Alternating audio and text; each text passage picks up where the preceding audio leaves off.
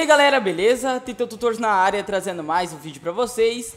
Bom pessoal, esse vídeo é para mostrar duas atualizações que chegaram para o WhatsApp. As duas foram para os grupos do aplicativo. Vamos lá então mostrar como é estas funcionalidades. Antes de tudo, é necessário que você esteja na versão 2.18.13 do WhatsApp. Essa é uma versão beta. Então, para que você consiga utilizar essa funcionalidade, você precisa abrir o WhatsApp na Google Play, descer aqui o menu e vai vir aqui até o aviso para se tornar um testador beta. Vai clicar no botão participar, vai esperar uns 15 minutos e vai conseguir estar participando do programa de testador. Entretanto, a gente sabe que hoje em dia você não consegue mais se tornar um testador beta no WhatsApp. Se você for querer se tornar um testador beta, vai aparecer um aviso de que o programa fechou, né? Porque já teve muitos usuários cadastrados. Entretanto, existe como solucionar o problema e caso você esteja enfrentando, é só você clicar nos cards que vai estar aparecendo aí agora e vai ser direcionado para o nosso vídeo que mostra como solucionar esse erro, tá? Então, tá imperdível o vídeo, não perde, beleza?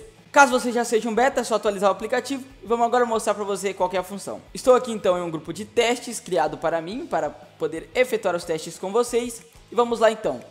Bom, a primeira novidade do WhatsApp é que antes, para deixar de ser administrador de um grupo, você precisaria é, sair do grupo e depois entrar novamente. Aí você conseguir deixar de ser um administrador. Agora isso mudou, basta você abrir aqui o perfil do grupo no WhatsApp.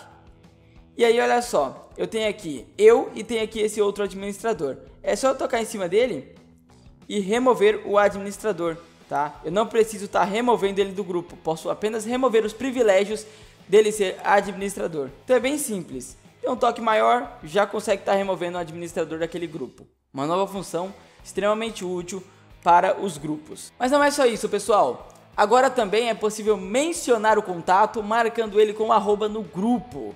E ainda tem um pequeno segredinho. Vou mostrar para você. Olha só.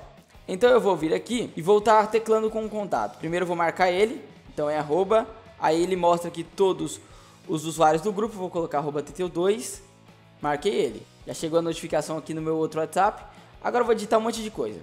Vou marcar ele de novo e vou falar mais alguma coisa aqui. Escrevi qualquer coisa, só mesmo para mostrar para você e agora eu vou marcar novamente o contato, tá?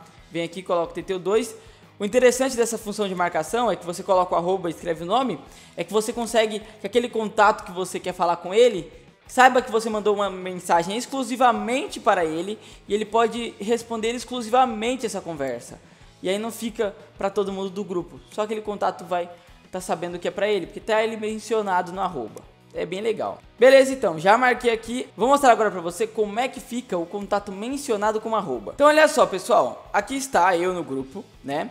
Ele mostra aqui para mim é, o primeiro e o segundo arroba, porque eles estão na primeira dobra de mensagens.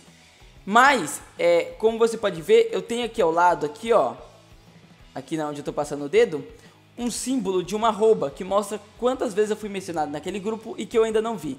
Eu dou um toque e ele vai mostrar exatamente a mensagem que eu fui é, marcado e mencionado no aplicativo. É bem legal, bem bacana, tá? Uma outra novidade do WhatsApp. Enfim, pessoal, queria mostrar para vocês estas duas funcionalidades que o WhatsApp recebeu. Curtiu? Deixe seu gostei aqui embaixo, compartilha nas redes sociais se inscreve no canal caso não tenha se inscrito ainda e ative o sininho para receber as notificações. Valeu, tchau, tchau.